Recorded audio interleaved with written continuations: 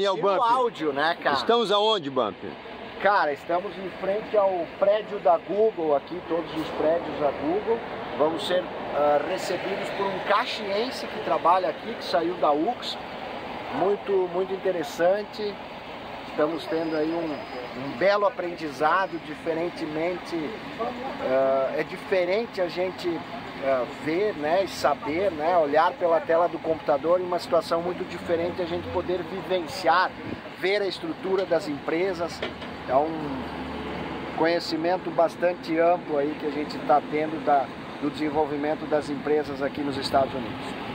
Quando nós pensamos no Vale do Silício, uma das primeiras empresas que todo mundo quer ver, e obviamente a razão, é a Google. E aí eu lembrei do Tomás Nora, que hoje ele é, ele é o gerente da Google Street View, Aqui ele já foi gerente de, da unidade de São Paulo, depois ele vai se apresentar. E ele foi um aluno da UX, a nossa, formado em engenharia pela UX, e fez um intercâmbio conosco. Eu trabalho na assessoria internacional e tive o orgulho de fazer o intercâmbio do Tomás para o exterior, o primeiro intercâmbio dos Estados Unidos. Ele não parou mais, voltou para a MBA e hoje ele é o gerente da Google Street e o nosso grupo vai ser recebido especialmente pelo manager brasileiro de Caxias do Sul. E aí conheci a, a Fabi, ela começou a me orientar como fazer para eu queria vir para os Estados Unidos, era uma coisa que eu tinha na minha cabeça que os Estados Unidos era o país que, tinha, que eu tinha que ir e o curso e a, a, a parceria que a gente era com a Universidade de Pittsburgh, no Kansas, que acaba sendo o meu highlight aqui quando vou me apresentar. Sério? Quando tu chega na Califórnia, pensa, todos os estrangeiros vêm pra Califórnia. É. O meu primeiro lugar Não, foi o Kansas. O Kansas. Todo mundo fica tipo, o que tu tá fazendo no Kansas? Não tem nada no Kansas. E, na verdade tem bastante. É... Enfim, os Estados Unidos é bem homogêneo ponto de vista de tecnologia, então aprendi bastante coisa lá. Foi, bem legal a, o, o, primeiro contato com a cultura real, porque aqui tem muito brasileiro, tem muito latino, tem muita coisa que faz a gente ficar um pouco mais perto de casa. Lá foi tipo me tirar completamente da minha zona de conforto, que é o que eu acho que dá essa resiliência que precisa depois, né?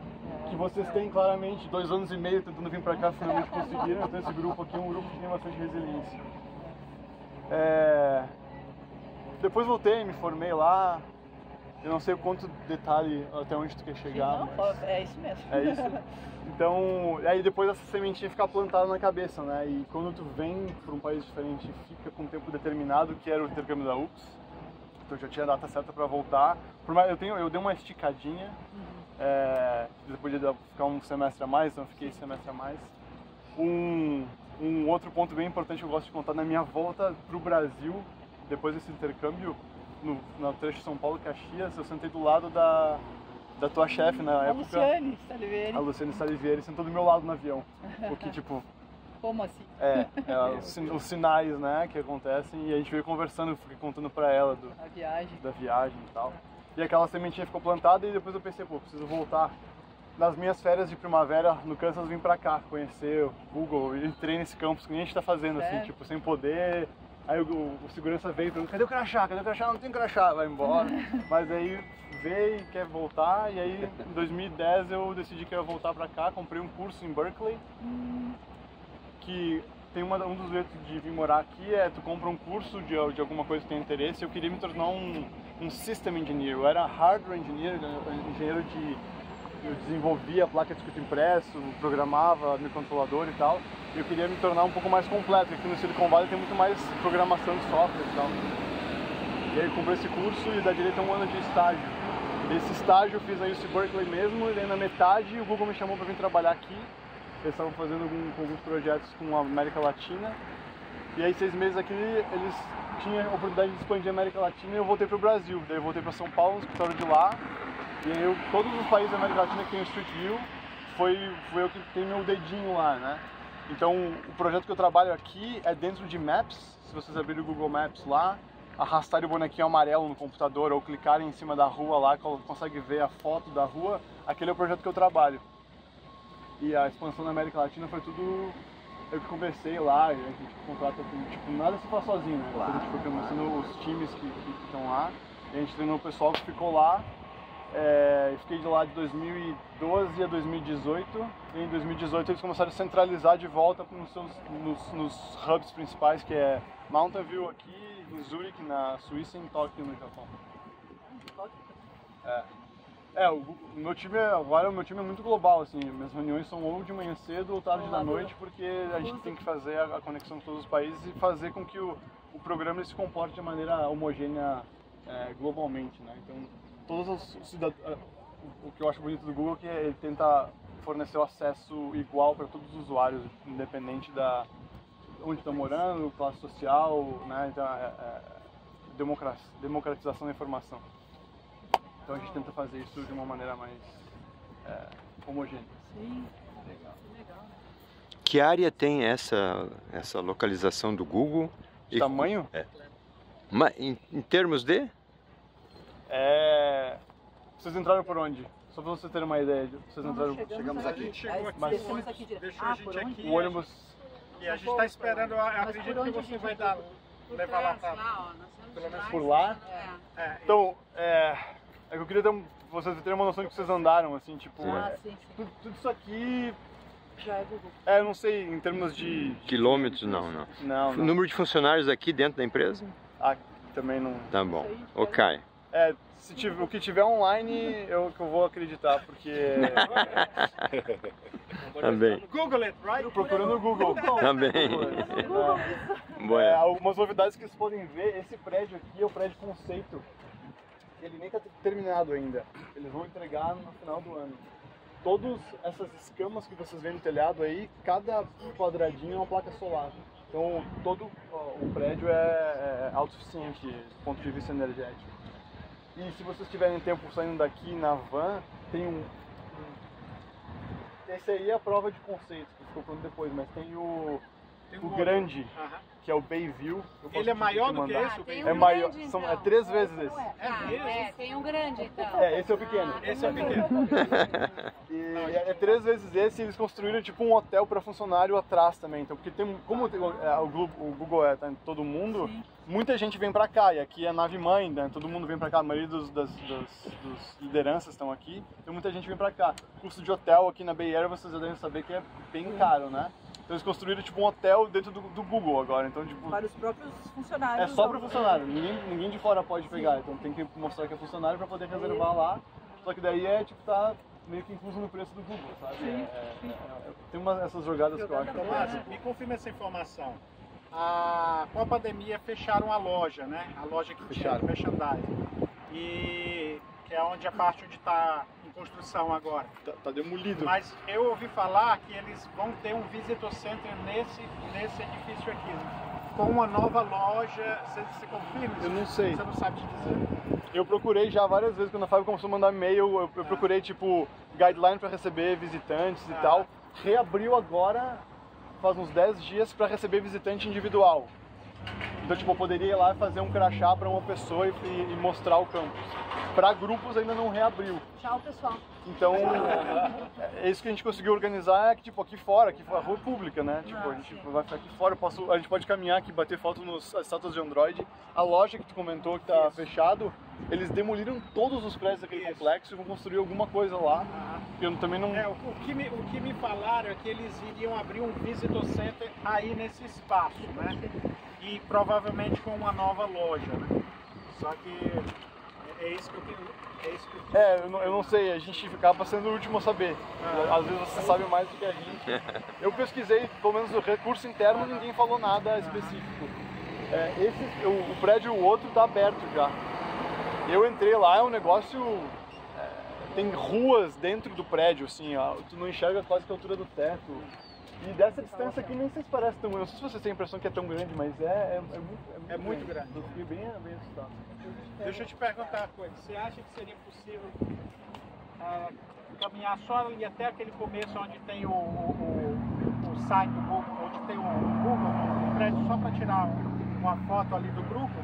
A gente pode tentar. É, é ali que eles me expulsavam sempre. Isso. Esse- esses, esses prédios aqui são os prédios principais, onde, tem, É. onde começou e tal. É, é onde tem esse sinal do Fala Google. que tem uma foto legal aqui também. Foto? Não, não, não. Para aqui não. Aqui tá tudo em construção, ó. Não, pra lá, construção pra cá, tem, tem essas estátuas. Aqui tem mais umas duas Tem- estátuas é, aqui nesse ali outro jardim. Tem uma outra, tem uma outra ali, eu já levei alguns Ah. ali.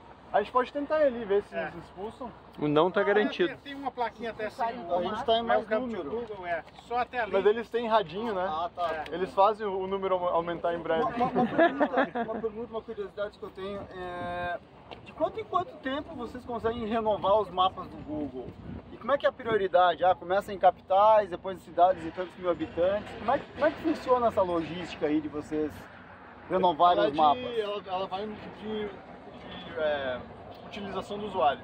Então, capital não necessariamente é um, é um ponto, mas se for uma capital que tem bastante visualização, aí vai, vai, ter, vai ser dada prioridade lá. Ou muita alteração de, de, de endereço. Tipo, na pandemia, um monte de restaurante fechou, outros reabriram, né?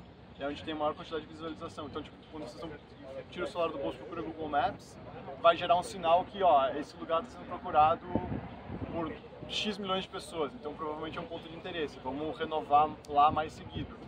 É, você vai para um lugar que não tem muita busca, não vai ter... é, Eu vi o carro do Google ontem é, algumas três vezes. É, Mais São Francisco. ele tava ali né, girando tudo e tal, ok. Quantos carros existem isso no mundo? Como é que funciona esse negócio aí? Essa é uma pergunta de ouro, a gente não pode dar resposta. E é a primeira pergunta que a imprensa pergunta sempre quando vem. A gente recebe muita imprensa no campus. é, Muito obrigado. Quantos carros vocês têm? É, um, é uma vantagem competitiva que a gente tem de não dizer quantos carros a gente tem, né? Porque a gente tem agora concorrentes. A, a, a Apple, o Apple, a Apple tem o Google Apple Maps e está mapeando com os carros deles. A Here, que a Microsoft comprou, Uhum. também está Ah, tá mas não vai mapeando. dar certo, porque a Microsoft trava. É, Certo, é, eles É tentam, possível. eles estão sempre atrasados. Mas assim, ok, não, não dá pra dizer quantos carros tem. Perfeito. Mas existe uma, uma ideia do tipo assim.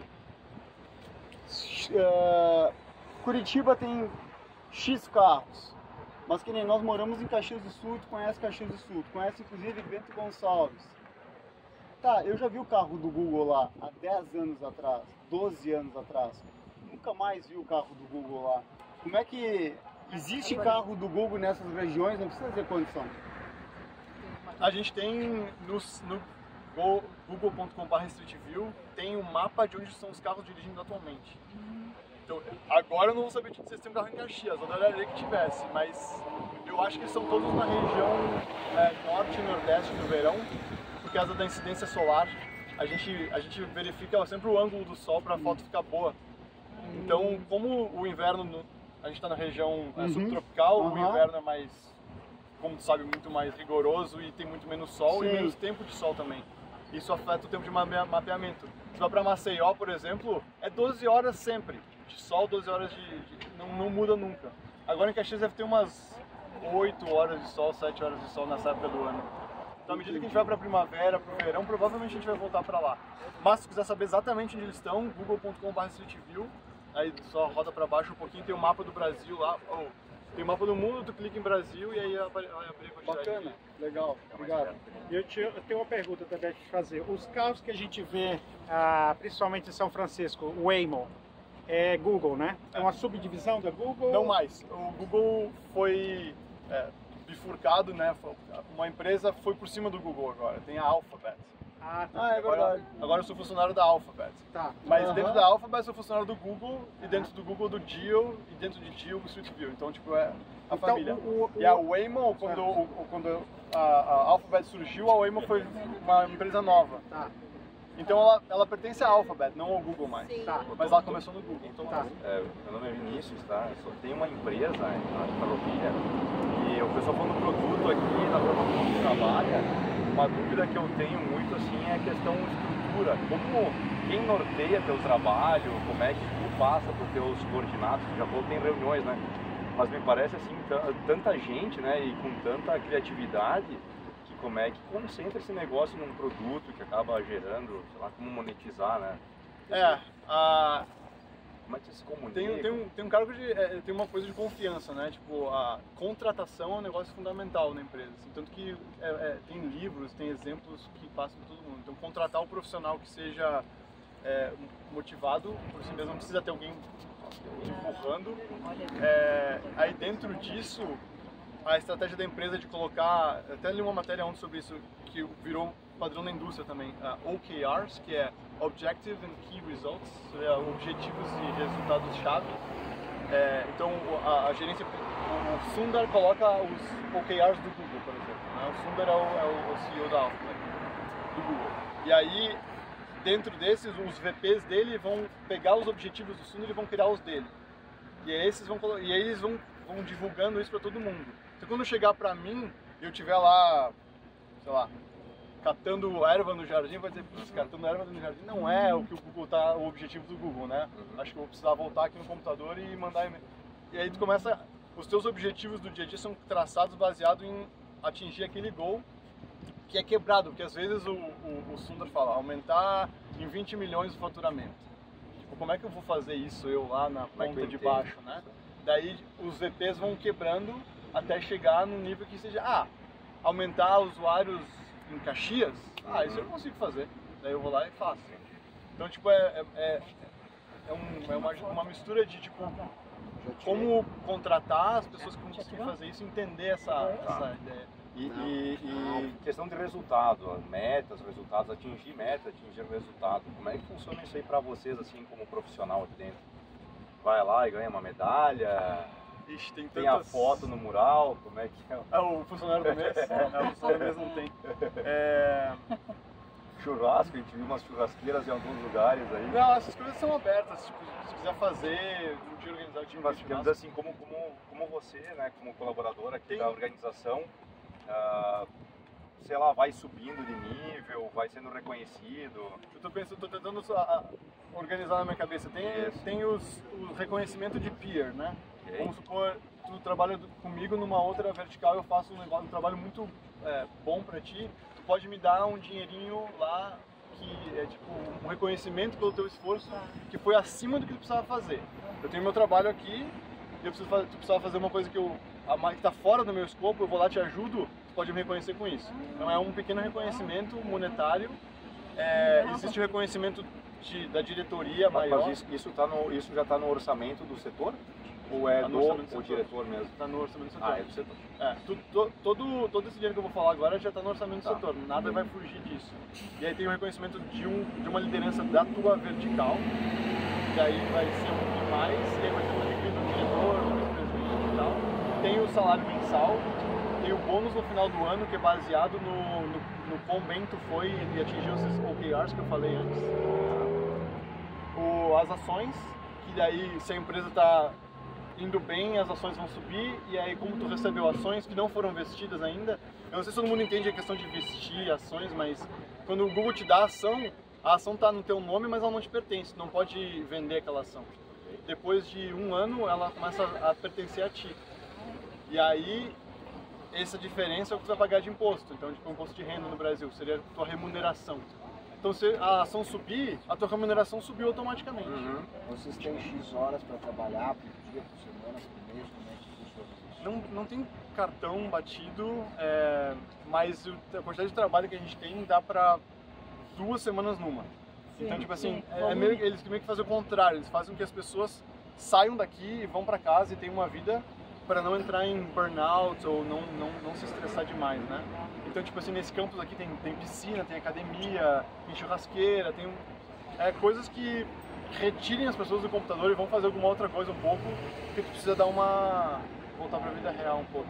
É meio que o contrário do que, é que a gente é. Mas é que entra no negócio da contratação que eu falei antes, é, dos contratos, os caras que são tipo. Altamente motivados. É, e aí tu tem que meio que forçar o cara a sair dali. Né? Quanto, quanto tempo levou a tua contratação assim? Eu comecei como consultor. Então é um pouco diferente de uma contratação, contratação normal. Quando eu comecei aqui, comecei, comecei como consultor. Eu fui pro Brasil como consultor e eu fui contratado lá só. Então, tipo, o pessoal já me conhecia e tal. Mesmo assim, eu acho que demorou uns três meses o processo todo de entrevistar. Porque mesmo no consultor desconhecendo, passa por um comitê neutro que não me conhece, porque senão, tipo, é negócio da política, né? Tu conhece o, conhece o cara aqui, conhece o cara ali, e aí tu já prova que tu é competente politicamente, né? não vai, não tá enganando ninguém, porque os caras viram o teu trabalho. Mas do ponto de vista técnico, tu precisa provar também que, que, que, é, que é justificável a tua contratação. E aí vai tipo eles têm um dia ou dois para passar o feedback para um outro comitê neutro, e esse comitê neutro vai se reunir, vai definir, tipo, ó, baseado nessa vaga, esses caras aqui tão, são os, os, os que estão disponíveis, ou que estão bons o suficiente, e eles escolhem muito lá. Tem um processo que não tem esse, esse, esse tempo que eu tive de consultor, provavelmente uns seis meses. Me diz uma coisa, continua com a mania de ser meio startup ainda, né? Então, tá mudando bastante agora, sabe? É, como, como começou a crescer assim, começaram a cortar bastante coisa que era essa coisa de startup, porque era muito mais aberto antes. E começou a se fechar mais porque as ações são públicas, então o investidor não vai investir numa empresa que é muito louca, né? Tipo, tem que ter uma certa estabilidade. Qual é o percentual de loucura daí? É, não sei o definir. O que, depende também do que é loucura, né? Às vezes a gente faz uma coisa é, que... É, é assim, aquela inovação mais radical, né? Então, assim, uma grande parte eu imagino que seja para manter a empresa funcionando, É. obviamente, né? Mas deve ter aquela, aquele percentual do... Tem- a gente tem esse, esses 20% que são teóricos, assim, que todo, todo funcionário pode investir os 20% do seu tempo em alguma coisa que seja nova. É, já foi mais é, é, ass- assertivo isso, já foi mais claro escrito. Hoje em dia não é mais tanto, é meio que tipo assim, ah, eu tô usando meus 20% para trabalhar nisso, mas não é uma coisa tão definida. Não é formal. assim. Não é, não é mais formal, exatamente. essa me diz uma coisa, ah, talvez essa pergunta seja um pouco, sei lá, um pouco diferente, mas ah, como é que é trabalhar no Google e, e assim, você acha que as pessoas elas têm uma boa qualidade de vida aqui, elas ganham bem para isso, elas, como é que você enxerga esse mindset, mas eu digo de de, de- de- bem-estar, de, de, é, de, de como de, bem-estar, é, de como pessoa. Porque o Google é tão grande, ele é tão gigante para o mundo inteiro, que a impressão que eu tenho é que as pessoas elas trabalham aqui, nossa cara, eu trabalho para o Google, eu trabalho para o Google, e parece que essa é uma boa parte do salário. É verdade, não é? Aqui não. Eu, eu tenho duas perspectivas diferentes. Lá em São Paulo era tipo quase que trabalhar na, na NASA, assim. Era um astro- eu era um astronauta que via as pessoas comuns em algum momento. Tipo, era um negócio extremamente. Porque lá eram tipo 700 pessoas numa cidade de 20 milhões, né? Aqui o Google é muito, muito grande. Eu não sei exatamente quantas pessoas tem aqui. Tipo, é- é- eu acho que são centenas de milhares. Eu acho que tem mais de 100 mil pessoas trabalhando nessa região aqui. O Facebook tá do outro lado da rua. A Apple tá, vocês ou já viram ou vão ir. A Tesla tá ali em Fremont. Tipo, tem muitas outras empresas que são, não sei se tão boas quanto, porque eu gosto muito do Google, mas são empresas que, tipo, do ponto de vista tecnológico, são do mesmo nível. Certo. E aí, se eu não tô feliz aqui, eu vou ali, atravesso a rua na, na Facebook, no Facebook, tenho certeza que eles vão querer toda a minha experiência de Google ali. Então tem um pouco dessa. As pessoas, a palavra que se usa em inglês é take for granted. É tipo, eles, eles assumem que, tipo, ah, Eu me garanto. trabalhar no Google é o mínimo que eu posso fazer. Tipo, porque eu- vocês não me reconhecerem, amanhã eu vou pro Facebook, ou amanhã eu vou pra Apple. Tipo, aqui é um pouco mais normal trabalhar pro Google. E as pessoas que não trabalham pro Google acabam vendo a gente como é, uns boçais, assim, tipo... Eu, eu surfo em Santa Cruz, que é meia hora da minha casa, assim, uma praia, é uma praia que tem do outro lado, é um dos melhores lugares pra surfar. Os caras vêm chegando de carro, assim, vê que é mais, ou menos Silicon Valley, já fica tipo uma coisa meio... O cara não é daqui, o cara é ali do Silicon Valley e tal, porque fala de remuneração, quem trabalha nessas grandes nas techs ganha muito mais dinheiro do que quem não trabalha nas techs. Tipo, o setor de serviço aqui tem sofrido muito, porque é, tem uma galera que ganha muito dinheiro aqui para poder pagar os aluguéis e mortgage e, e coisas para poder comprar as casas aqui, e as pessoas de serviço não ganham a mesma coisa. Mas tu precisa desses caras trabalhando, tipo, é, no supermercado, servindo café, Sim, sim, garçom. sim, sim, Tipo, sim. tem várias outras profissões que não ganham tanto, sabe? Como é que esses caras vão sobreviver do lado dessa massa crítica gigantesca de pessoas que ganham bastante dinheiro, sabe? Eu até vou ser sincero contigo, eu até imaginei que eu ia encontrar assim, Lamborghini, não sei o que, Vale do Silício, grana, grana, grana. Porque eu boto dinheiro nessa empresa aqui todo mês. O Google Ads, cara, é uma forma muito inteligente de captar ah, dinheiro do mundo inteiro. E, e eu achei que eu ia encontrar assim aquele negócio, aquele impacto assim de me sentir realmente um, sabe como se eu estivesse entrando na NASA. E não, eu vejo aqui pessoas normais, carros normais, um Prius, que graça tem, né? Uma caminhonete, né? Cara, é, é, eu acho que poderia, não sei, como é que é isso aí? É assim mesmo? Tá todo mundo feliz assim? É, tá todo mundo fazendo assim, é, comprar uma casa aqui é o valor de quatro Lamborghinis, então tipo Tá. assim, o, o cara compra uma Lamborghini, ele compra uma casa e talvez inicialmente ele vai comprar uma casa, depois se bobear, vai comprar uma Lamborghini. Mas mesmo assim, é, a galera que trabalha em tech não tem tanto esse... A gente não vê tanto carro assim como sendo... Eles provavelmente vão comprar um Tesla, vão comprar... Tipo, o, Tá, ok, algo sabe? tecnológico. É, é, e talvez tu vai ver normal. Tesla é um negócio que já virou coisa normal. É, sim, sim, sim, sim, Tipo, nós vimos isso. E pô, um carro de 100 mil dólares. Sim, a 500 gente mil reais, dois meio milhão Uber de reais tu compra, é. tem pra comprar um Tesla, sabe? É, então eu, eu vejo, assim, tipo, aqui no campus não vai ver tanto, na estrada tu vê mais, mas aí é, é- é os caras, os angel investors, que esses sim é, ganham muito dinheiro, porque é um cara que investiu no Google lá em 98 e tirou esse dinheiro e aí, tipo, ele compra uma Lamborghini com o troco do, do sorvete. É nós, Enor. É nós. Quase, Tá. Quase. quase, pouco. Ah, bacana. É isso. Bom, para matar a curiosidade de vocês, eu acabei de pesquisar no Google, é claro. Tá? Aqui o Googleplex, toda essa área aqui, Cuidado da ciclovia aí só. isso, isso, isso, dados de 2019. 2.000, cerca de 2.800 empregados trabalham full time, tá certo? Em período integral aqui. Porém, milhares outros eh, trabalham de forma remota e que eventualmente, de vez em quando, eles são eh, requisitados a comparecerem no local. Mas trabalhando full time, né? ah, em cerca de 2.800 pessoas. Isso dados de 2019. Tá bom? Eu, acho que só mais uma. Se eu puder, mais uma pergunta pessoal aí, tu, reserva também. Mas de qualquer forma, a ideia de ah, viver aqui no, no, no Vale do Silício, né? Você, e já viveu lá na nossa região. Ah, agora com esse negócio, a gente viu falar muito aqui pandemia, conexão online, esse negócio de estar conseguindo viver longe da onde se trabalha, mas conseguindo estar conectado. Tu voltaria lá para a região? O que, que tu vê que é? Eu quero dizer assim no sentido É de provocar assim a região e aqui. Tu assim tem como, como poderias colocar assim nessa nessa situação? Trabalhar Cara, aqui, cara viver tá lá. surfando, morando aqui bem lá, nem o mar ele. tem, né? Mas tem uva. Eu, eu quero liberar ele pra falar o que ele tem que falar, Isso. né? No, no teu sentimento, não no que pra agradar o que ele quer Isso, ouvir, não, entendeu? não, isso aí é A bem o- resposta já é meia... É que a gente. Você sabe como é que é? A gente, eu nasci lá, né? Minha família toda tá lá e amigos. Eu voltaria fácil. Não não tem nenhuma dúvida. O que, que eu faria se eu voltasse, eu não sei.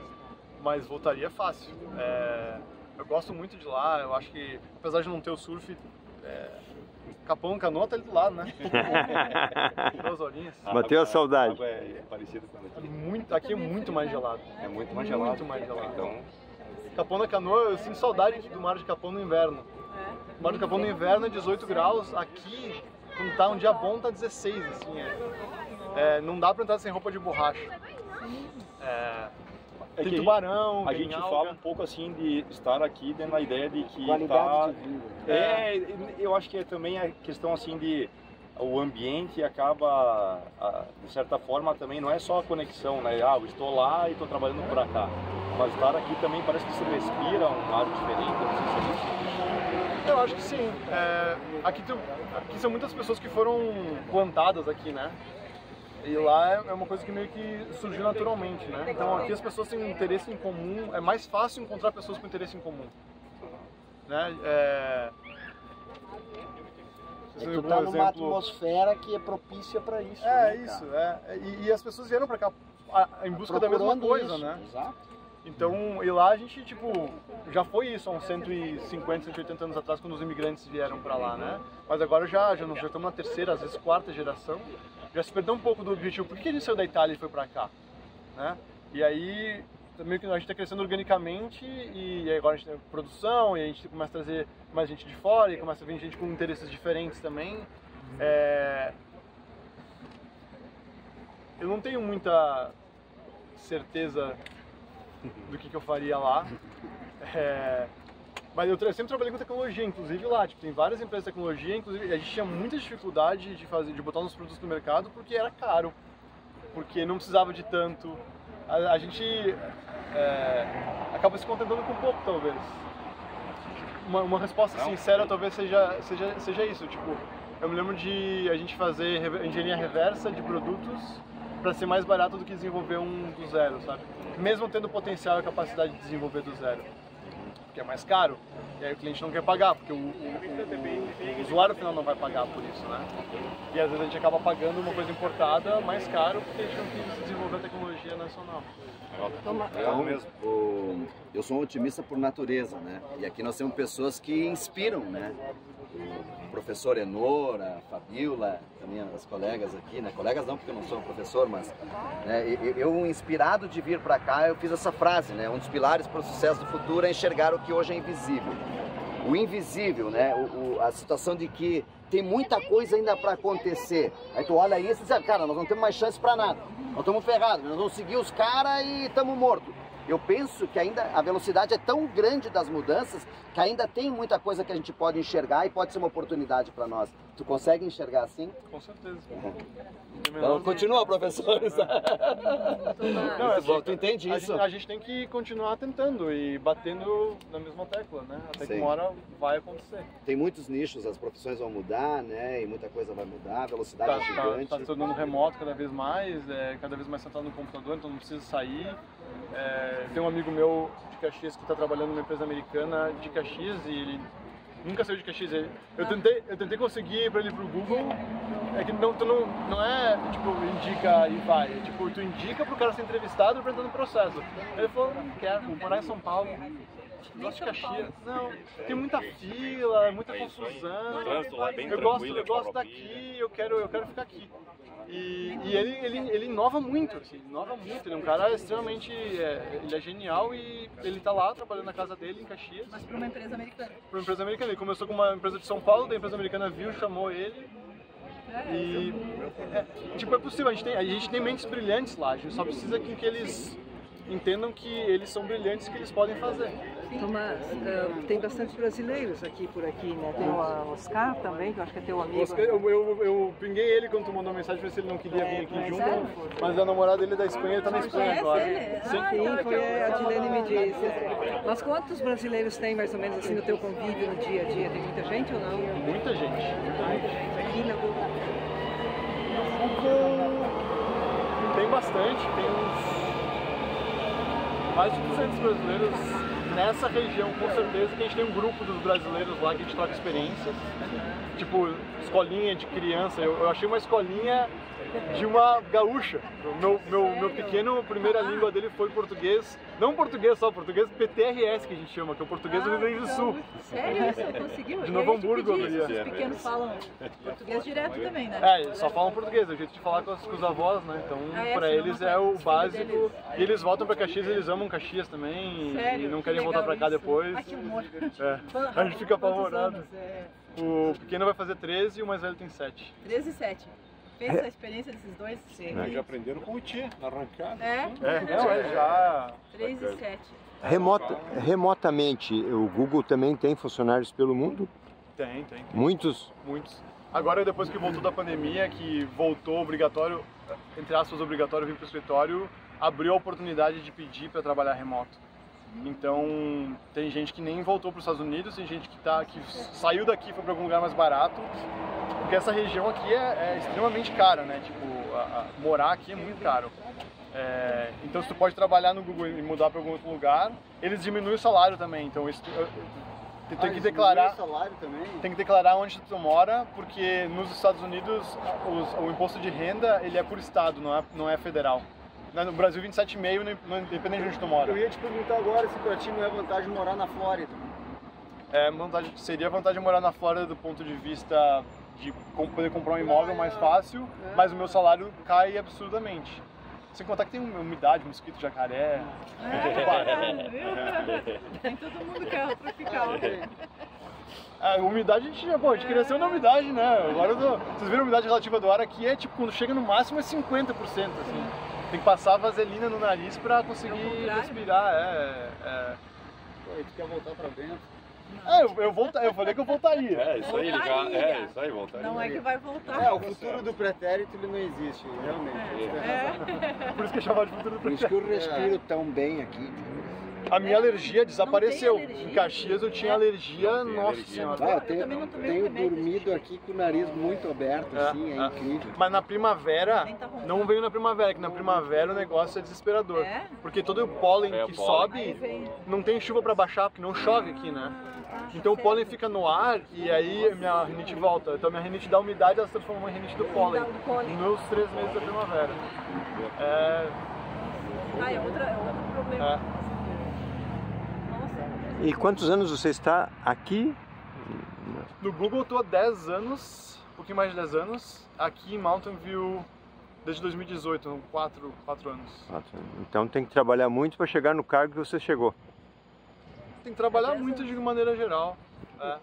Eu, eu, eu, eu vejo que quando eu entrei no Google foi o momento que eu falei, nossa, todo esse trabalho que eu fiz antes de entrar no Google valeu a pena pra cá, né? Tipo, e eu não sei, eu, eu ainda tô, eu não consigo enxergar isso, tipo, eu ainda tô galgando, sabe? Eu ainda não, é, eu tô, pra, pra pergunta dele antes, né? Tipo, eu tô num nível, eu quero subir desse nível ainda, sabe? Então eu, eu não tô lá ainda. Se, se, se respondendo a tua pergunta, eu não tô lá ainda. legal. Mas pelo jeito vai chegar, né? Legal. Quem pensa assim é que consegue isso aí, chegar lá. é. E onde é que é lá, né? que a É, já- mas essa, essa é outra coisa que o Google tenta trazer quando eu falei de tirar do computador é, é determina onde é que tu quer chegar, porque esse lá nunca chega, né? Sim, E essa, sim, e essa que acaba gerando essa ambição extrema que, que leva a coisas ruins depois, né? Tipo, a gente tem que ter um limite, né? Equilíbrio, né? É, tem que ter um limite. é. A felicidade está no caminho, não na chegada, Exato, né? Porque a exato. chegada é a morte, velho. E é, e é isso que eu, eu tento lembrar os meus filhos todo dia, do, tipo, nunca estão satisfeitos. Pô, o, o comentário que vocês fizeram, pô, vocês vocês estão morando no Silicon Valley, cara, tipo, é o sonho de muita gente. Ah, mas não chove aqui, é, não chove aqui, que é uma coisa boa pra muita gente. Sim. Tipo, tem um monte de coisa que eles vão reclamando que eu falo, velho, a outra coisa que a gente falou que foi muito interessante no meu filho de 7 anos, a gente vai pro, em novembro pra Caxias agora, ele falou, esse negócio de pobreza não existe, que criança passando fome não existe. Ele falou? Porque ele não tava querendo comer, ele falou, cara, tem um monte de gente passando fome. E ele nunca viu gente passar fome, ele nunca viu, ele não lembra de, de favela, ele não lembra de, de, de sofrimento. Porque, tipo, aqui a gente tem os, os caras que moram na rua, mas os caras, eles recebem comida da prefeitura, tem lugar pra comer e tal. Então, os meus filhos não têm noção de onde eles vieram. O, o Caio nasceu em São Paulo. O Caio nasceu do lado de Paraisópolis, meu filho mais velho. Tipo, ele, ele- a gente entrou em Paraisópolis várias vezes e ele não lembra disso. Então, um dos meus objetivos agora quando for pra Caxias é levar eles num, num passeio. Ó, isso aqui é Caxias. Tipo, tem muito mais do que tu tá vendo lá no teu dia a dia. Vai pra escola, volta pra casa, sabe? É, é importante a gente lembrar essas coisas também, né? Tipo, Pra eles, né, ter essa visão de mundo. Escolhe bem o bairro. Escolhe bem, o- não vai entrar no primeiro de maio lá, muito. tem pra uns lugares verem, né? perigosos, mas a, a minha sogra trabalha como enfermeira numa UBS, então ela, ela tem uma certa proteção, o que é um problema também, né? Tipo, a gente tem que saber onde a gente está protegido é, é assustador, né? E quando perguntaram pro Ayrton Senna, né, qual a maior motivação dele, era realmente de levar felicidade para as pessoas, porque dinheiro não vai dar. E nós, nós, naquela época dos anos 90 nós estávamos tão mal que eles cara, dinheiro não vai ter, né? A população tá é um país subdesenvolvido, então vamos levar felicidade pelo menos, né, ele dizia, né? Hoje melhorou um pouco, o Brasil está num outro nível. A Serra Gaúcha também, mas ainda tem muito para melhorar. Mas das coisas básicas, né, professor Enor? Saúde, educação, cara, tem muita coisa para melhorar. Infraestrutura.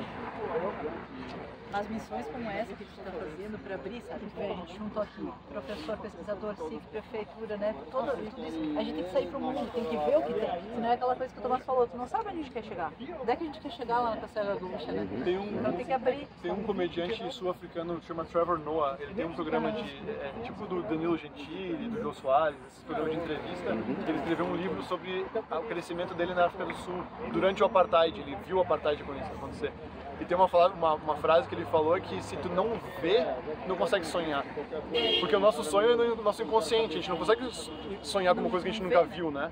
Então tu só pode ver um prédio que tem escama de dinossauro que é solar, só vai pensar em fazer isso na tua casa ou sonhar isso na, na noite se tu vê um prédio com escama de, dino, de, de, de dragão que é solar. Tipo, senão tu nunca vai sonhar com isso. É. tem que ver e, e criar. Não ama o que tu não conhece, né? Então é isso aí mesmo. Essa é a importância da gente abrir aqui pro mundo e ver, né? Um momento especial, né? A gente vê um caxiense aqui, né, fazendo, tendo que fazer, mostrar a realidade contrária pro filho dele. Né? Assim, pra nós isso é um exemplo tanto, né, Tomás? Eu lembro até hoje, quando fiz o intercâmbio dele, tava contando pro pessoal me, me honrando ali, né? Disse, olha, fui eu que mandei ele pro Kansas. Eu que dei o- faço parte da eu que dei o pontapé na bunda dele. por tabela eu faço parte da Google. Não, porque é isso aí mesmo, a gente vê vocês. E agora eu descobri que o Franco também, uma história bem parecida contigo, ele é um engenheiro da Tesla Berlim. Ah, isso aí pra nós assim, é, é um orgulho de tanto, sabe? De quem usou um pouquinho, né? Ah. Disse, não, vou voltar. É, Foi e voltou. Quanto que é ampliar a zona de conforto, né? Não é uma questão de sair da zona de conforto, é de ampliar a zona. Ampliar a zona de conforto. Que é quando vai se tornar a zona de conforto depois. Vai ser a É. nova zona de conforto. Depois que essa aí estiver estabelecida, tu vai para a próxima zona de conforto e aí tu puxa de limites, né? Tu vai É. empurrando a fronteira.